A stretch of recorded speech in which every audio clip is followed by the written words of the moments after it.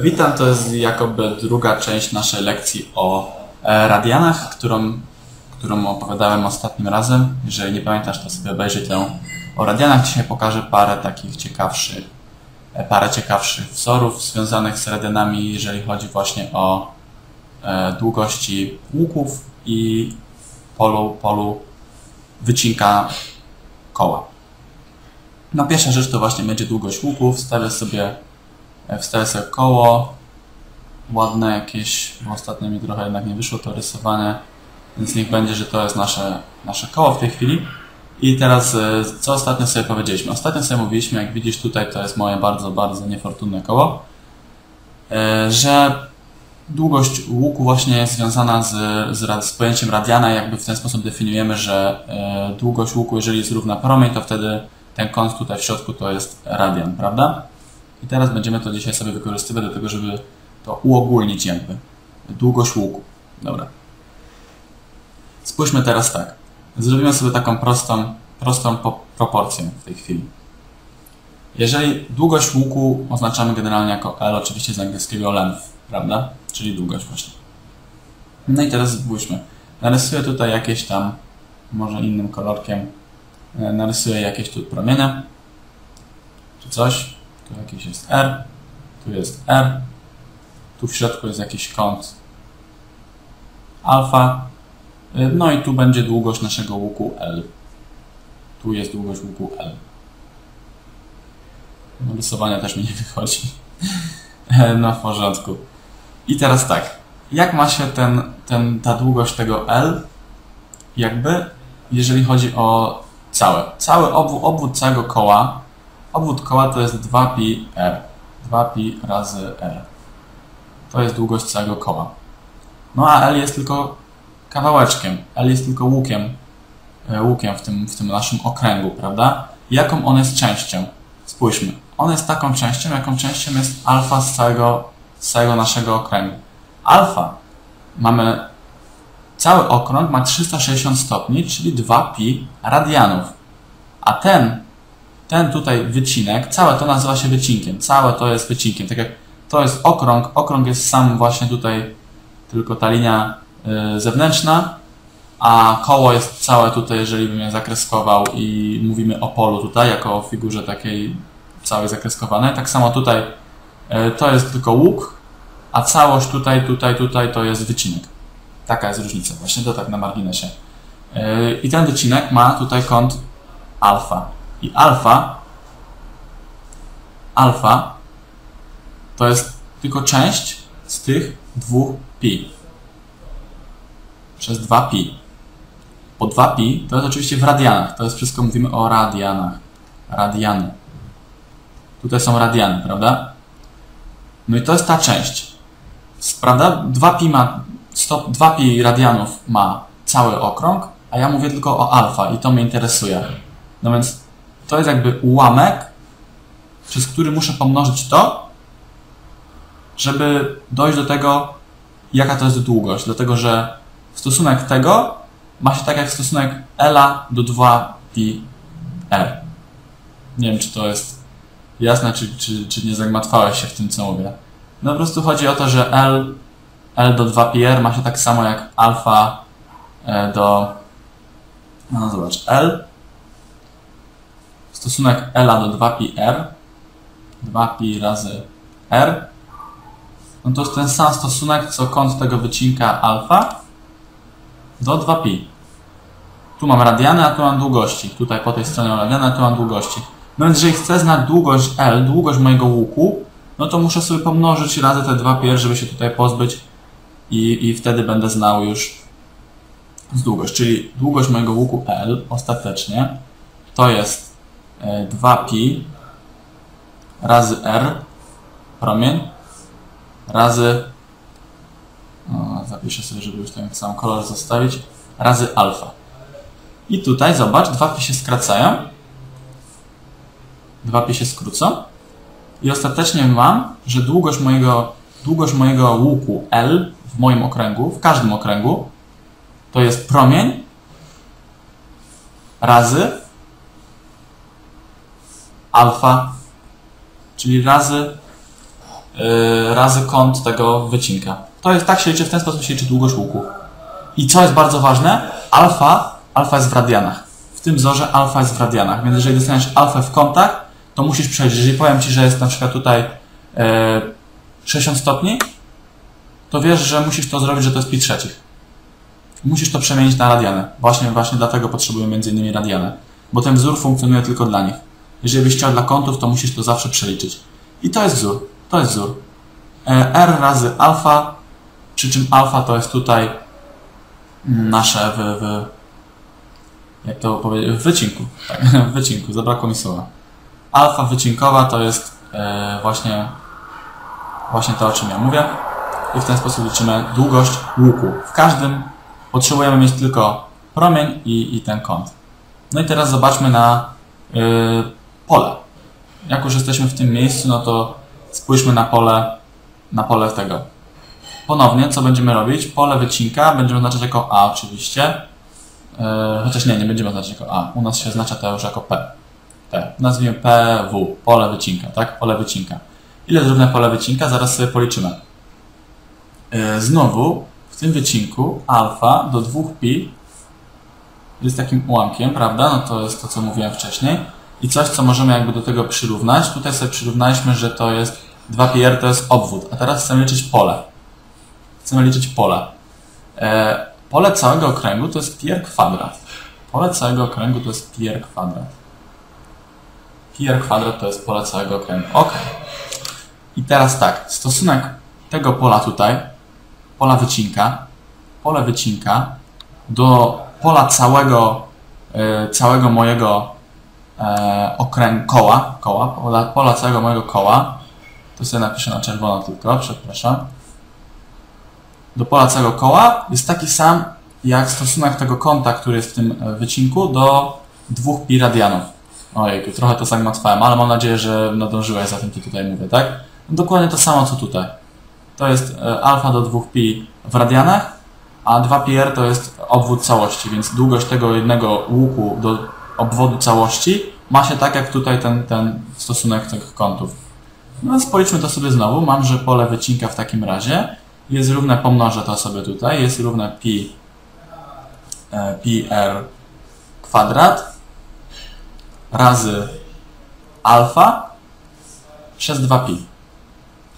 I tutaj w tej chwili nam się 2pi skrócić, z tym, że nie 2pi, tylko samo pi. I wychodzę na to, że pole wycinka to jest 1 druga razy r kwadrat razy r kwadrat razy alfa. Przy czym przypominam ponownie, że alfa jest w radianach. I to jest wzór na pole każdego wycinka, czyli znowu potrzebujemy tylko kąt. Znając kąt i promień w wycinku, no to możemy policzyć jego pole, możemy policzyć długość łuku, E, oczywiście alfa jest w radianach, właśnie dlatego musimy zawsze to pamiętać o zamianie. No i teraz pokażę Ci jakieś tam bardziej interesujące moim zdaniem zadania, które są związane właśnie z tym, e, z tymi, z tymi naszymi wzorami, które tutaj podałem. Miałem je naszykowane gdzieś. Zaraz Ci powiem, jakie mam zadania.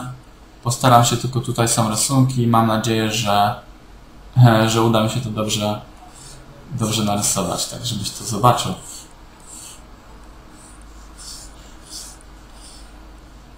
W porządku. Dobrze. Zróbmy sobie takie zadanie. Mamy kółko. I teraz tak, tu będzie tu będzie taki trójkąt. Tutaj mamy jakiś trójkąt. Tutaj. O, Tutaj mamy tak. On jest oznaczony T, A i O jak środek. 7 cm mamy daną długość tutaj. 3 cm mamy długość tutaj, to jest nasz promień, prawda? Zauważ. I w tej chwili nie mamy tutaj nic więcej danego. Wiemy, że O jest środkiem tego, o jest środkiem tego okręgu, dlatego w ten sposób, e, dlatego w ten sposób wiem, że to jest promień, te 3 cm. I jedyną rzeczą, którą wiem, to że TA jest styczną do okręgu. Styczną do okręgu. To będziemy mówić dokładnie w planimetrii, co z tego wynika i tak dalej. Na razie wiem, że to jest styczna do okręgu, teraz powiem Ci tak skrótowo, co tego wynika. Pole, które mam policzyć, to jest to. Muszę policzyć to pole. To mnie interesuje. Pole tego tutaj. To zakreskowane moje pole. I wiem, że TA jest styczną do okręgu. Skoro TA jest styczną do okręgu, to znaczy, że do tego promienia tutaj, w tym miejscu, tu mam kąt prosty. To jest bardzo, bardzo, bardzo, bardzo ważne. Bez tego bym nie mógł nic policzyć tutaj. Y, w ten sposób wiem, że, wiem, że mam tutaj kąt y, prosty. No i zobacz, jak możemy ugryźć to zadanie. Mogę na przykład policzyć pole tego wycinka, pole całego tego trójkąta i od pola całego tego trójkąta y, mogę odjąć pole wycinka. I w ten sposób poznam, poznam pole tego tutaj zakreskowanego. Pole trójkąta policzę bardzo łatwo. Pole trójkąta najpierw policzmy. Pole trójkąta no to jest a razy h Tutaj to jest A, to jest H, prawda, razy 1 druga. Czyli to jest 1 druga razy 3 razy 7, czyli to jest 21 drugich. 21 drugich centymetrów kwadratowych to jest moje pole trójkąta. Czyli całe to pole tutaj. To jest 21 drugich centymetrów kwadratowych.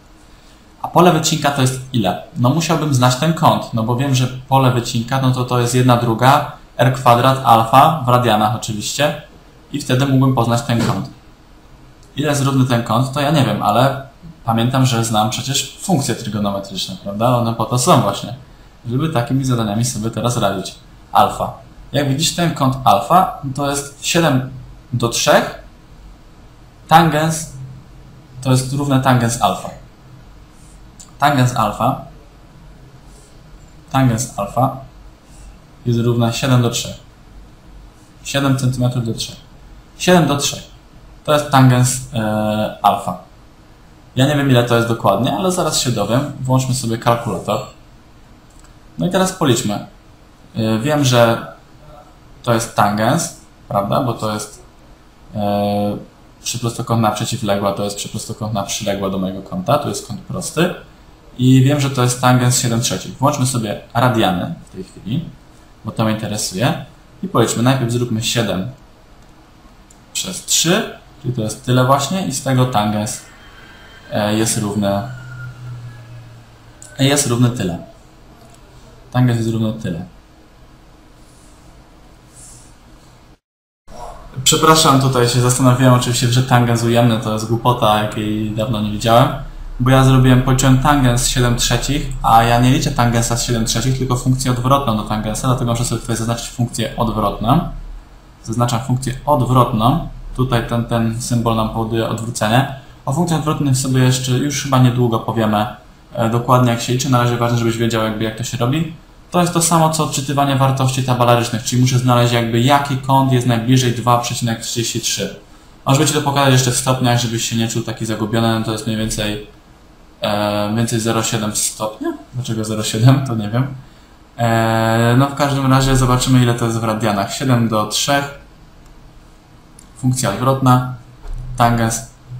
E, teraz mam stopnie. Teraz mam stopnie. Teraz się zrobiło w stopniach, wtedy mieliśmy w. To jest mniej więcej 67 stopni, gdzieś w przybliżeniu, czyli to jest pytanie o coś odwrotnego. A teraz zobaczymy, ile to jest radianów, czyli 7 trzecich ostatecznie. W radiany sobie zaznaczam. Funkcja odwrotna do tangensa. Tangens jest mniej więcej, widzisz, 1, 1,16, no to zaokrąglimy sobie, że to jest 1,17. 1,17 alfa będzie 1,17. I to jest oczywiście w radianach już. Alfa to jest 1,17 e, radianów. Radianów.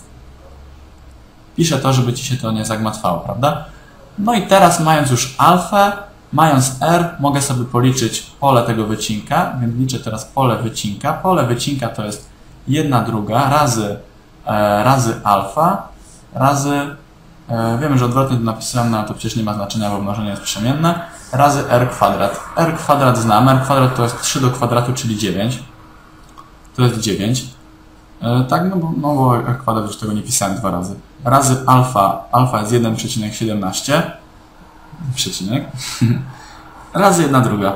To jest pole mojego wycinka i zaraz zobaczymy ile to jest. To jest po prostu e, to, to jest moja alfa. Mnożę ją sobie razy 9 no i mnożąc przez jedną drugą, no to to samo co dzielenie przez 2, czyli dzielę to wszystko przez 2. I jak widzisz, pole tutaj mojego wycinka tego jest 5,25 powiedzmy. 5,25. Tyle zróbmy, że jest pole wycinka. Równa się 5,25. No i teraz ostatecznie pole tej figury, nazwę to tej niebieskiej, prawda? Pole figury to jest e, pole trójkąta minus pole wycinka, pole trójkąta minus pole wycinka. Pole trójkąta to jest 21 i przez, e, przez 2, czyli, czyli 10,5. Pole wycinka to jest 10,5, 10,5 e, minus 5,25. Zobaczmy ile to jest. Mm, 10,5 minus 5,25, no to wiadomo, ile to jest trochę głupio zrobiłem, że to liczyłem. Ale to jest po prostu 5,25 jeszcze raz, tak? E, To jest, to jest 5,25, akurat tak w tym zadaniu wyszło. I to jest pole mojej figury, tej niebieskiej. To jest pole tej niebieskiej figury. No, także to było takie zadanie przykładowe, jakby do czego Ci się może przydać e, pole wycinka na przykład. E, Tak samo mógłbym sobie tu policzyć e, pole łuku, no to policzę sobie tak, żeby dla wprawy jakby pokazać Ci jeszcze jak się liczy pola łuku. E, tylko, że może na czarno. Pola, pole łuku pole łuku jest równe ile? Pole łuku to było, jeżeli dobrze pamiętasz, e, alfa, bo tam nam się skróciło to wszystko, tak? E, pole łuku to jest oczywiście alfa razy e, alfa razy chciałem przywołać ten wzór, ale już nie chcę się poszukać. Dobra, nieważne. E, alfa razy tu mam, znalazłem. Tylko, że nie mogę tego przeciągnąć. Dobra. O, jest tutaj. Łuku to jest alfa, al, alfa razy r w, e, w radianach. Alfa razy r w radianach. Tylko, że teraz mi zniknęła tamta strona. Ojejku, przepraszam Was strasznie. Alfa razy r w radianach to jest, to jest pole łuku. No to policzmy sobie to najwyżej, najwyżej na nowej karcie. Tam było r było 3, więc pole łuku będzie równe alfa razy r, przy czym r było 3, alfa było 1,17, jak dobrze pamiętasz, więc pole tego łuku to jest 1,17 razy 3. No i to jest bardzo proste zadanie. A, wyzerujmy to sobie 1,17 razy 3, czyli 3,51 to jest pole łuku. No i to jest w sumie wszystko, co musisz wiedzieć o łukach i wycinkach. Jak na razie e, podałem to tak trochę na marginesie, bo to jest bardziej dział planimetrii i będziemy to robić oczywiście nawet trudniejsze zadania z tego, ale to jest jakby dalej lecimy z tym tematem. Jak już wprowadziłem radiany, no to pomyślałem sobie, że te dwa najbardziej e, popularne wzory tutaj z wykorzystaniem właśnie kątów w radianach też Ci pokażę. I takie krótkie, tylko tutaj jedno zadanko właśnie na liczenie tych wycinków i, i łuków. Na dzisiaj to koniec. Dziękuję Ci za obejrzenie tej lekcji. Jeżeli Ci się podobało, to zachęcam Cię oczywiście do subskrypcji naszego kanału oraz do polubienia nas na Facebooku. Nasz adres na Facebooku to facebook.com przez aplusnauka. Wszelkie pytania możesz nam zadać pisząc do nas na maila a.plus.kontakt.gmail.com Zapraszam Cię również do obejrzenia następnej lekcji. Pozdrawiam.